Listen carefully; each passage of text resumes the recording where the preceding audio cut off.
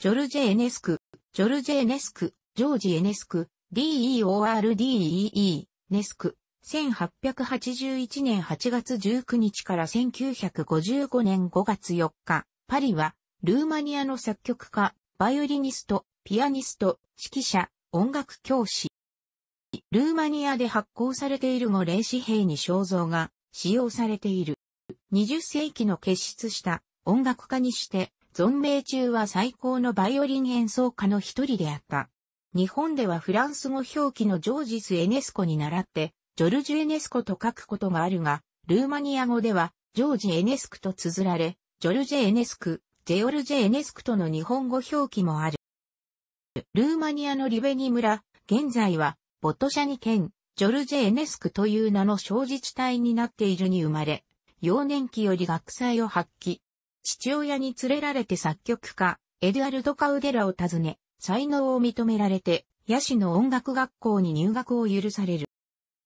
7歳でウィーン音楽院に進学。ヨーゼフ・ヘルメスベルガー、ロベルト・フックス、ジギスムント・バハリヒに指示し、13歳を迎えずして銀メダルを授与された。ウィーン国立音楽院時代の学友にツェムリンスキーがいる。ウィーンにおける演奏会ではメンデルスゾーンやサラサーテのほか、ブラームスを演奏した。ブラームス本人とも面談して激励され、その時の記憶から、フランスに渡ってからも、ブラームス作品の支持者であり続けた。1895年にパリ音楽院に行って、研鑽を重ね、バイオリンをアルマン・マルシックに、カセート・フーガをアンドレ・ジェダルジュに、作曲をマスネト・フォーレに指示した。アンドレ・ジェダルジュ著のフーガの協定では、エネスクがパリ音楽でフーガの一等賞を取った作品が模範例として挙げられている。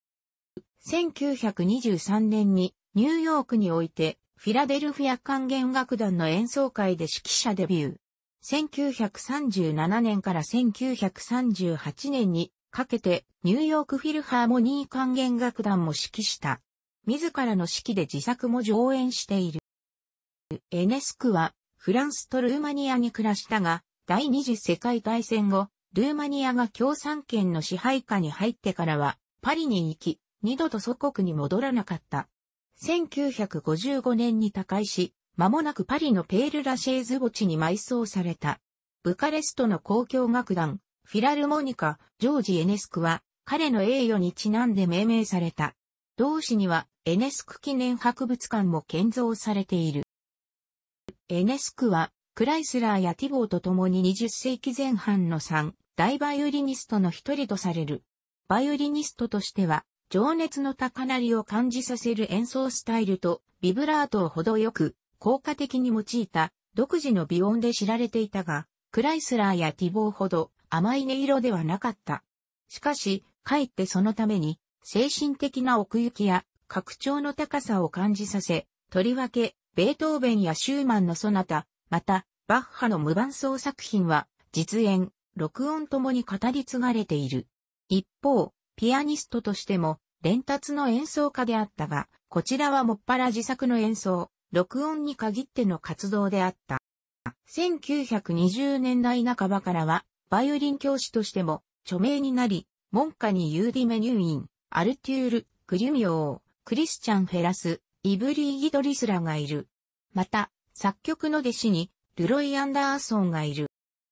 同時代のルーマニア音楽の普及に努め、1912年に同胞の更新に対して与えられるエネスク賞を設立する一方、コンスタンティン・シルベストリア・ミハイヨラ、イオネル・ペルレア、マルチャン・ネグレアらの作品を演奏した。エネスク作品の多くはルーマニアの民族音楽に影響されており、最も有名な作品としては、二つのルーマニア狂詩曲、1901年1902年、や歌劇、エディプス王、1936年、三つの管弦楽組曲がある、この他の作品については、下記参照。エネスクは二つの世界大戦の時期に戦乱を避けて、ルーマニアに帰国しており、その間にいくつかの作品がゴーリ・ルミニス地方のシナヤで作曲された。一部の作品、バイオリンソナタ第3番、エディプス王などには微分音を用いている。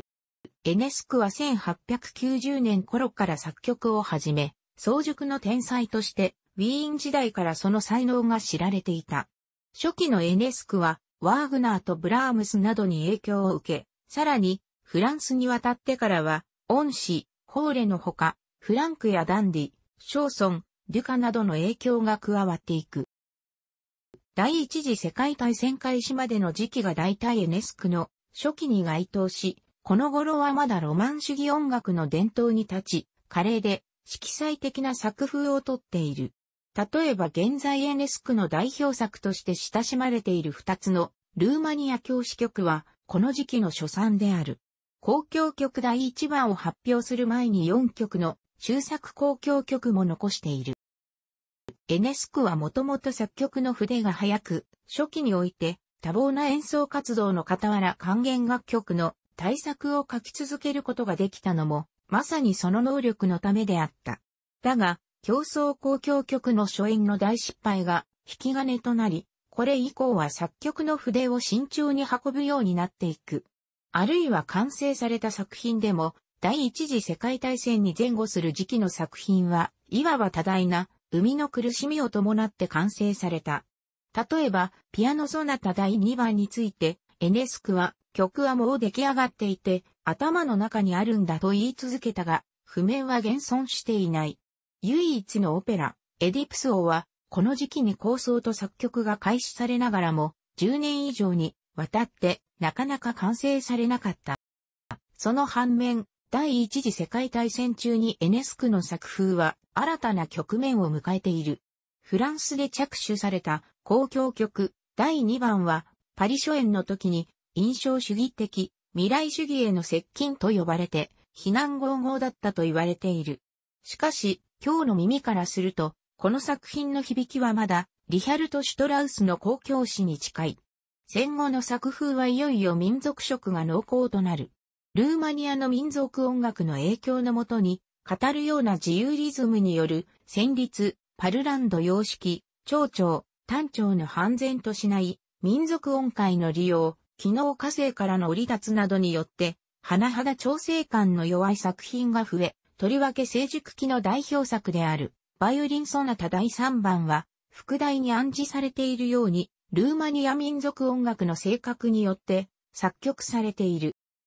第二次世界大戦が終わるとともにエネスクはパリに戻るが、耐久生活を余儀なくされ、この中で作風は徐々に解雇的なものとなってゆく。室内交響曲は、題名こそ、シェーンベルクの作品を暗示するが、作品は、超的、先方的で、曲は、叙情的に流れていく。また、交響曲第4番5番、修学賞に声楽を伴う、バイオリンと管弦楽のための、ルーマニア奇想曲など、晩年の作品の多くが未完のまま残された。